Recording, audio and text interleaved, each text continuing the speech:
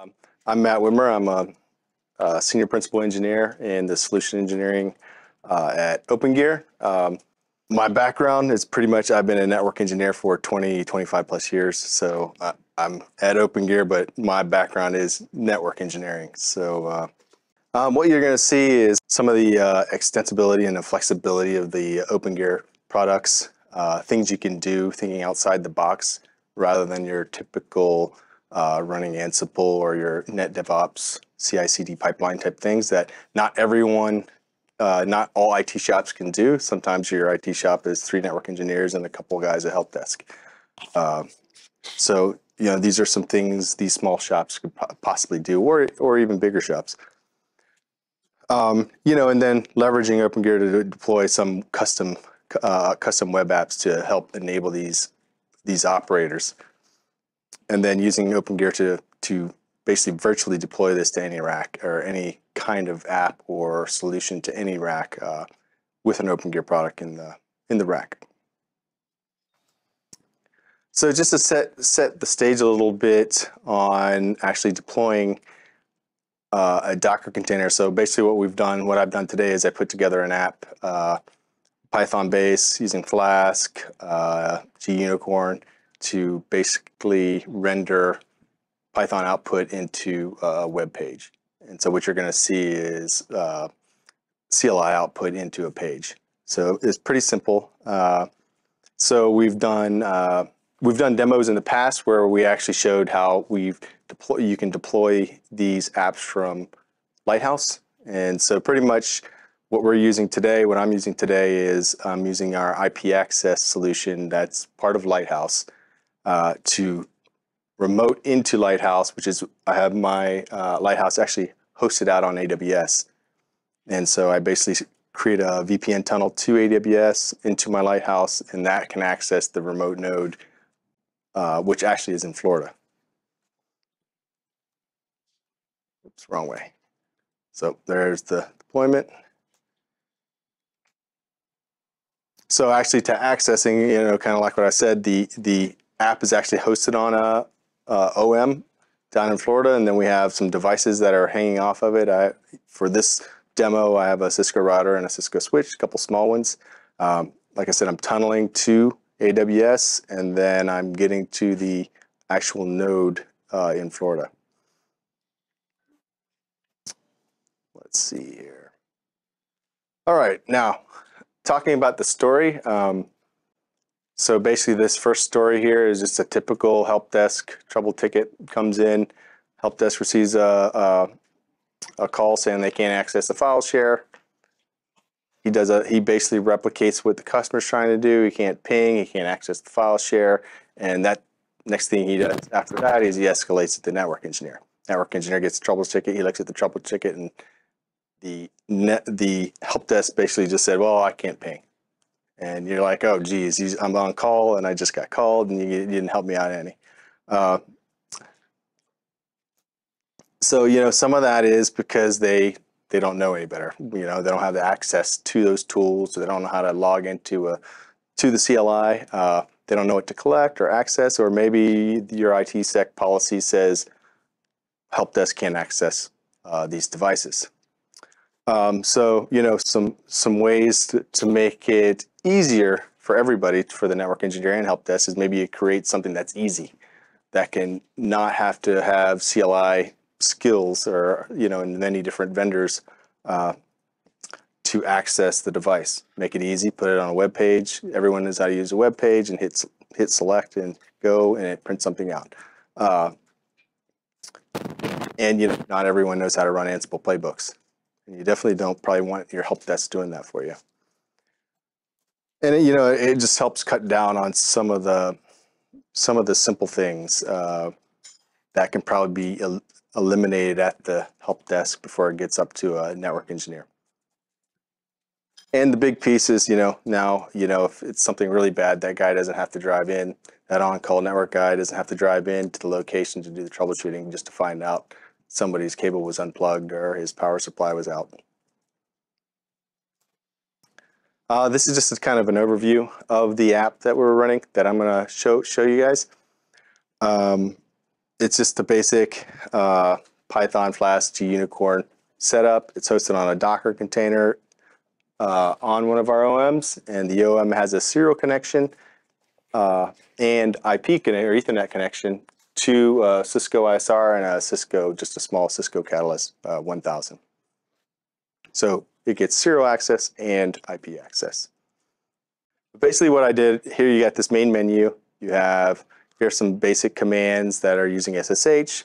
And let's say uh, you don't have access, you know, maybe it's out and they only have access locally and you're at a different site.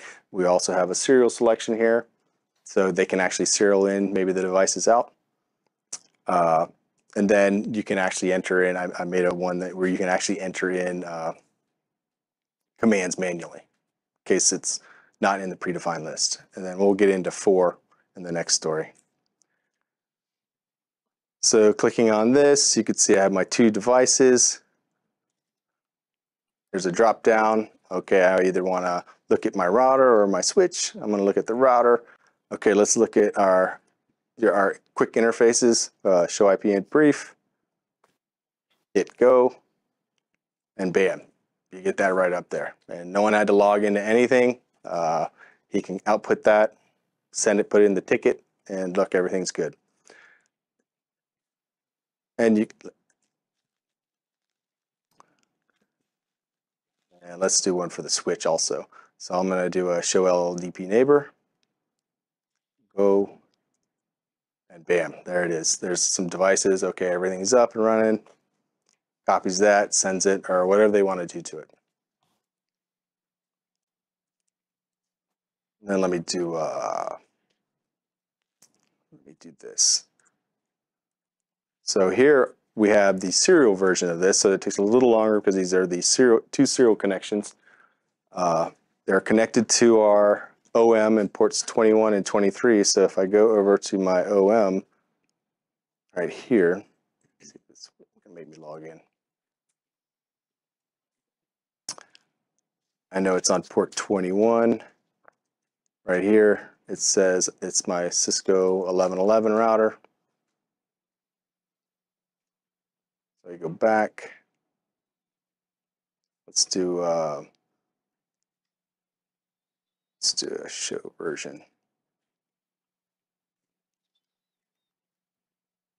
Then what I'm going to do is also I'm going to open a a serial connection through the web GUI just to show you that it's actually working and I'm not uh, this isn't prescripted. so there's the command prompt. Sorry, it's small. All right, so he's logged out here. I'll hit go. And now what you'll see in the serial session is the actual input that the app is actually doing. And it shows everything and then it'll log it out. And bam, now it's rendered into the app. So, so a question on the, the demonstration of the serial question, uh, connection. What's accounting for the buffer of that output? Is that, is the OpenGear device accounting for that or are you accounting for that in the application in this demonstration? It is, it is the, uh, it's not the application, it's basically the OpenGear. It's the, it's the serial session. All I'm doing is very simple. I'm writing that output to a log file and then I'm rendering that output into a uh, web page. Okay, got you. So you're writing it and then that's where it's Yeah, being yeah. redisplayed. Yep. Thank you. So very simple, put together. So uh, And the code you're using to, or code, the parts you're using for this are available easily on the internet somewhere to try to make that happen? Or do you have a document that helps explain or show this? Um, yeah, there isn't really, uh, yeah, we don't have that out there. We do have a GitHub and we probably put some of this out there on the GitHub, but the, the app itself, the, the, it's, it's, uh, NetMiko, it's NetMiko login. So if you know how to do any of the send command timing, send command files, it's, that's basically all I do. And then you do some, you know, some tricks in Python to write to a file, read it, and using Flask, you output it. So it's pretty straightforward. All right. What's a typical deployment of these devices? Like, um, like we talk about serial, and we've uh, we've all had a serial server for a million years. Sure. Just a node somewhere in the management network. But is there? uh, Do companies typically still use their management network to re, to access all these devices over the IP, via IP, or is it? Do you see any other any other design problems? Excuse me, security problems with you know having a, a device that can access everything again, right? Um, yeah, I mean, it, it depends on, you know, you see enterprises where they have, they still are using, the- or they use a management VLAN. And so obviously you're tied in, you're going to have to plug this into your management VLAN, which is physically still part of the production network. And then you're seeing a lot of customers still push for uh, a completely separate out of band, Mm-hmm. Physically separate networks. And in that case, uh, yeah, I mean, you're still, you're still part of a network, but it's not touching your production. I don't know if that answers your question. Yeah, yeah, yeah. It's you know, more traditional, just just the node, right? Just the one single IP address of your device versus now that thing is connecting outbound versus being connected to Right, in the traditional sense. right. It's just in uh when it's in in band or you, let's say you have a management VLAN, yeah, you're connected in. It's just still one IP. It's just like any other device that's out there. So, uh, and then any access, serial access, is like any other traditional uh, console server. You know, they we, we map a SSH or SSH port to the ports. So, all right. So let me go, let me flip back to the slide deck. Let's talk about the next one. So the next, the next story basically is, uh, you know, we have iPerf test nodes. So you can use the OM because it's, you can put Docker out there. You can use it as uh, test nodes. And as Ryan brought up earlier, is sometimes you have the shadow IT of people putting uh, Raspberry Pis or small, those little small Intel NUCs or something like that out in their networks to run as test nodes, or even even not worse, but sometimes you have to send somebody physically out with a laptop to to troubleshoot what's going on there. Um, this is an advantage of having the OpenGear device and being more than just the console server. Now you you can run some of these things you would typically do uh, with a piece of hardware that's already there. Um, so, you know, here's our story. We have a customer out, all down in Florida. Uh, so, you know, somebody complain, you know, you get a complaint from a remote site saying it's it's slow between Florida and Nevada. Uh, you know, so the network engineer on duty wants to run some quick tests, throughput tests uh, between, but there's no IT staff there, and he doesn't want to fly down there, and it's critical because the store can't run. Uh, so, you know, here's here's a way you can run iPerf, and you don't have to use an app. I just put it in the app. You can actually just run it in SSH and do it the old-fashioned way. Uh, or if you have uh, Ixia, you know, you're running Ixia or a ThousandEyes or something like that as agents, so you put agents out on the on those nodes. Uh, but for our purposes, I just use the iPerf because it's easy to show. And so here's just a quick look at our setup. Uh, we have two OMs connecting a couple routers to the WAN. Um, uh, back to the Nevada OM, which is running as the server. So just a quick point-to-point setup. So right here, we got the same setup here, and I already have it predefined. So I'm just gonna hit run run iPerf, and you'll be able to. It takes it's basically running uh, for 10 seconds. So what's happening in the background is it's deploying the uh, the script is actually deploying the Docker container. The Docker container is ready, but it's not deployed or it's not in uh, a build state. So it deploys it, that takes a couple seconds, and then 10 seconds to run the test, and then tear down. And then what you see is basically your standard iPerf output will get rendered on the website. So a quick question again on, on connectivity here, right? This application that we're seeing is connecting to Lighthouse, right? In AWS, or is it connecting directly to the OpenGear? This app, this app that's running, these are actually, that's actually on the OM. It's on the OM. Yes. Okay, gotcha. So the I'm website using- we're seeing is, is on the OM. Yeah, and what I'm doing is I'm using uh, v, basically a VPN to connect into Lighthouse, which then gives using our IP access uh, tool, which gives me a connection down to that OM to basically run this. If you're local, if you're local, you know, you would just connect without you. You could just connect locally to that uh, OpenGear device. Okay, gotcha. So it's a VPN connection to the OM, Right. to run go- this. Right. If you're going if you're going through Lighthouse, let's say you're in a different site uh, and you need access, yeah, you can just VPN to Lighthouse with the tool with our IP access tool, which then gives you access down to uh, the operate the OM. Okay. So would that work, uh, if you've got a small remote office, one box that you're managing, and you really don't have any kind of management network? Can you put this box directly on the internet and it'll lock itself down just to a VPN or? Um, so if you want your connection, you could set up. You can actually set up a connection directly, uh, VPN connection directly to the OM. There's a feature that lets you set up. Basically, it's basically a strongSwan VPN. That if that's exposed, you can you can access it. Okay. Uh, if you have Lighthouse, you can use Lighthouse. Lighthouse. What what happens when it enrolls in Lighthouse? It creates uh, basically an OpenVPN connection. So it's encrypted. And that's initiated from Lighthouse or from the device? The uh, it is initiated from the device. Light, Lighthouse is basically listening. Okay, so, so this will work behind a CGNAT environment or something Right. like As long as you got the right port forwarding on, it's just like I said, it's just IPsec and OpenVPN. Okay, but if you've got no ability to port forward, you're like, you're, you're behind a carrier grade NAT where they're not letting any ports in. Yeah. Yeah, it'll be fine because you're you're You're going out. initiating. Yeah, exactly. But there's no, there's no, you've got it firewalled sufficiently that you could put this thing on a raw internet connection and you're not gonna have to worry about it. Right. Great, thank you. Yep. All right, click main, and that's pretty much those are the things we were going to walk through. Um, we did. I did want to circle back to. We had a question about the API and the port, the uh, port labeling. So actually, the API does show. We do have it documented.